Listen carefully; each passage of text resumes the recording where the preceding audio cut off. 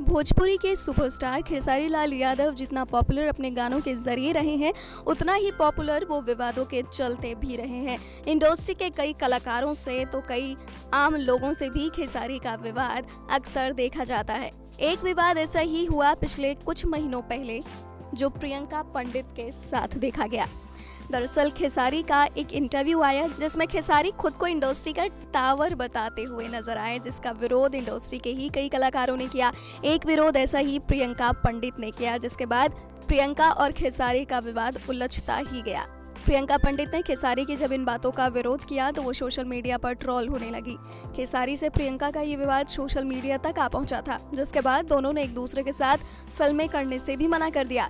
जब से दोनों का विवाद हुआ, तब से खेसारी को तो कई सारी फ़िल्मों में देखा गया, लेकिन प्रियंका पंडित को फ़िल्मों में देखना कम हो गया और प्रियंका पंडित फ़िल्मों में कम दिखाई देने लगी। इस बीच खबरें ये भी आई कि खेसारी से विवाद के बाद प्रियंका को फ़िल्में मिल नहीं रही हैं।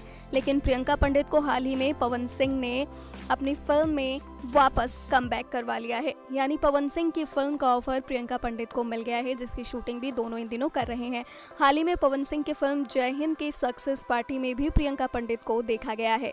नेक्स्ट नाइन न्यूज़ भोजपुरिया की रिपोर्ट